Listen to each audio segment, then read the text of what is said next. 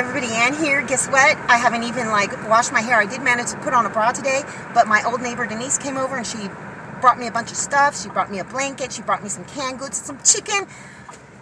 But can you see what's in there? You see that? That's a 300 gallon water tote. We're going to wash it out right now. What do you think, Andy? I like it. I'm having a man do the driving because, you know, I get nervous. Seriously, just driving anything, anyhow. So, uh, he knows how to drive with a big fat load on. So we're going to go Turn right onto Mount Pleasant Road. What? Oh, I had a GPS on because I was afraid I didn't know how to get here. So we're going to go wash it out. Oh my gosh. Getting it all clean. I cannot believe I got this. I just can't believe it. There it is, folks. Now, I, I don't have that attached. I'm going to clean that off and decide whether I'm going to try and get it to go just down into here or if I'm going to like put a little screen over it and get it to drain down into there. I don't know which one is going to work better, but yep, I got to clean that tarp up. Andy and I got it off of this truck and over here all by ourselves, it's got uh, already got a spigot. It's got a little hose on it. Oh my gosh. We took it into the car wash and got it all cleaned on the inside. Eventually I'm going to spray paint this whole thing black. I can't freaking believe it. Thank you, Miss Denise, and thank you, Andy. Moving on up, Miss Ann. I am, I am. Yes. Here it is, guys. Okay, I had to do this just a teensy bit differently. I did put the, the twigs in it, or sticks, rolled them together, bungeed it. I don't know if this is going to hold it. I mean, it was holding it before. So, I don't know. I decided not to use the cap and, you know, take the little part out in the middle and put it down in there just because I don't know how this is going to move around. You know, if I was sure that I could get get it in that hole and get it to stay in the hole, um, then I would I would do it that way. But instead, so I've just uh, put this screen on, and I have made a little little dip in it here. Um, I don't know if I should do that or not, or just keep it flush. I figured this way, if it's I don't know. I, in my mind, I think the water will go in better and I'll just have to scoop anything out that gets in there.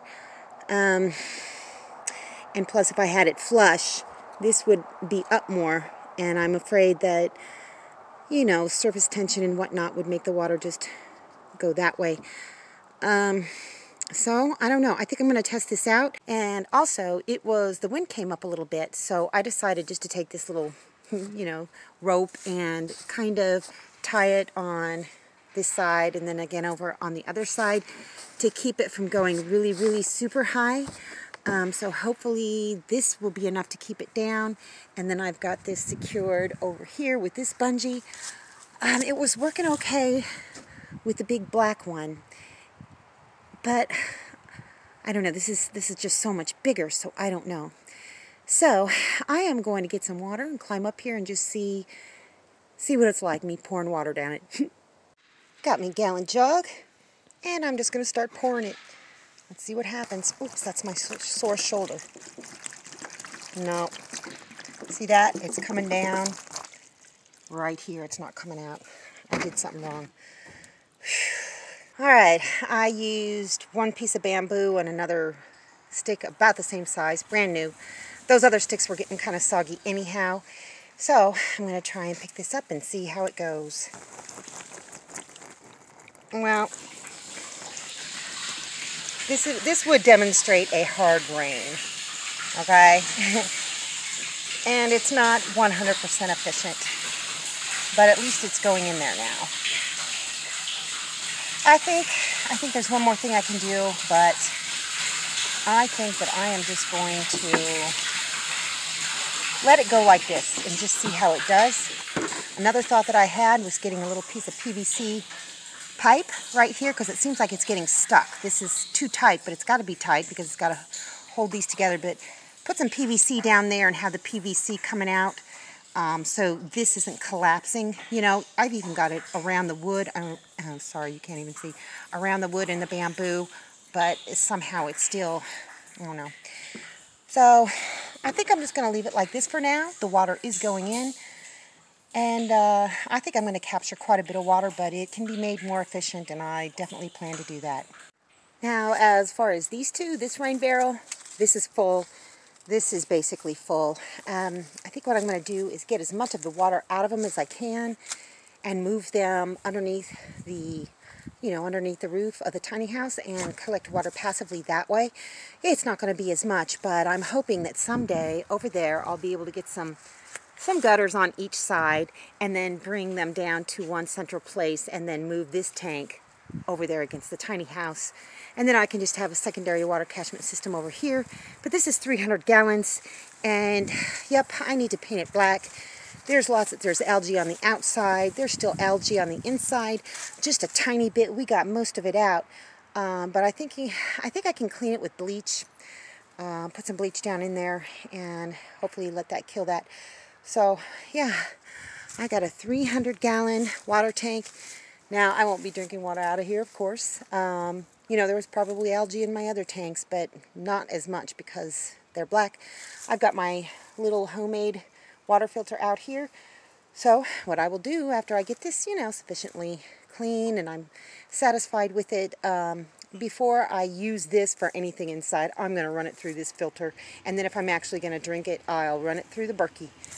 So this is absolutely amazing. Look at that, you guys. That thing is huge. I can't believe it fit in the back of my truck. And it's got a spout. It's got a little hose. I'm going to have plenty ways to capture water. What a relief. Thank you, Miss Denise, and thank you, Andy, from Andy's Tennessee. Why don't I always stutter when I say that? Andy's Tennessee Life and Homestead and neighbor Denise. Denise gave me the, the tote. Um, Andy just helped me get it over here and get it set up and whatnot. Um, just thank you so much. This is going to make such a huge difference on this homestead if I can get this tank filled up, I don't think I'm ever going to have to worry about water because I've got all these other water catchment things going on too. So, oh my goodness, this is unbelievable. It's the day after I got the water tote, and guess what? It rained last night. It rained, it rained, it rained. I so much wanted to be awake when it was happening. Yay, that's all wet. Everything is very, very wet. A couple buckets filled up over there. So let's go see how the water tote did. Hmm. I don't know how much water is in there. Let me look. It looks like the top stayed together pretty well. So, hmm. It's so hard to tell because the outside of this needs to be scrubbed too. Let's see. I didn't get a whole lot of water. I got some, maybe about this much, but in a tank that big, I don't know, that may be 10 or 20 gallons, not sure.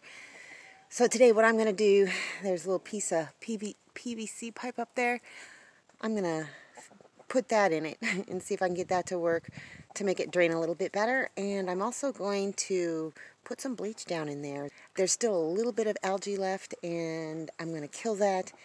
So I need to read up on how much. I think I don't have to add very much. I know that much. Um, and I was going to um, put the bleach in there, and then drain it out. I'm not going to do that. I'm just going to put enough bleach in there to kill what's going on and as the water fills up um, it'll be in the right concentration whatever so I'm gonna think that through but I don't know I got a little bit of water it didn't it must not have rained very hard um, because it didn't wake me up and I really wanted to be able to come out here and be the one to see it in action but um, it's gonna rain again I'm pretty sure okay y'all I have found a little piece of well I'll show you and it has at least temporarily solved my little problem with the water not draining down like it should. So let me turn this around and show you.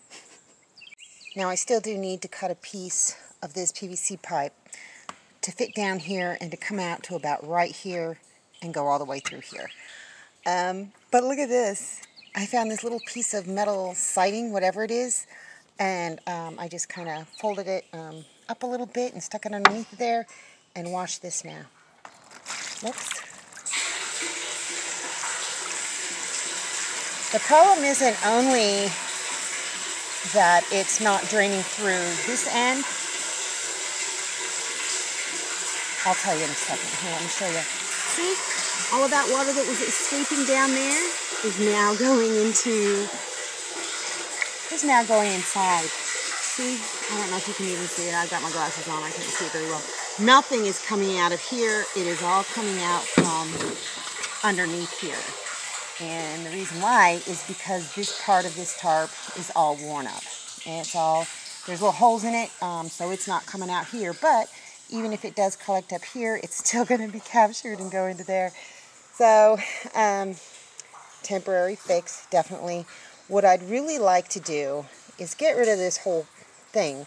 And, well, not the whole thing, keep the tarp, but get a piece of a downspout and wrap the tarp around that and have it go into that. So, but anyhow, I think this will work temporarily. I wanted to get something up that would um, capture more of this water for me. Um, and it's still draining. See that? Still draining. Uh, because it's supposed to rain some more. And also, I did put some bleach down in the bottom of there. And I was going to put the bleach in and drain it, but I'm not going to do that anymore. I am just going to leave the bleach in it. Um, I put less than what you would need for a full 300 gallons because there's not even 300 gallons down in there. I don't know. You can't really see. Um, there may be 20, 30 gallons down in there in the bottom. Um, but I'm not going to drain it. I just wanted to kind of shock the bottom of the tank where there's some algae. And then I have to figure out how I'm going to cover this or paint it. Um, so yeah, I'm just going to leave that water in there with the bleach by the time it fills up. And I won't be using this for anything until I've got a full tank of water because there's too much bleach in there uh, for human consumption, you know, right now. Anyhow, what's next? Check it out, you guys. I haven't even had coffee yet this morning. I was so excited to find out that it had rained. I ran out here, fed the chickens, and then I, I just started working on that. I have not had the... Goodness, chickens? oh, Romeo got his favorite hen. Um, anyhow, what was I saying? See, I can't even think without coffee in me. So I've done this whole day in reverse. Alrighty, I, I'm going to go make myself some coffee and um, then I, I need to filter some water for the inside. So I'm going to gather some water um, from the other tubs that I have. And I'm going to try and get those, uh, the big black tubs emptied enough so that I can move them against the tiny house so I can start capturing rainwater into them. Uh, everything's pretty full right now, so I'm to have to figure out what to do with water. I think I'm just to, I'm going to filter a whole bunch of water. Anyhow, that's it, guys. I haven't even had my coffee. I bet you're all sitting around having your coffee, and here I am out in the mud playing around. I love it. Anyhow, that's all I got for you guys today. See you in the next video.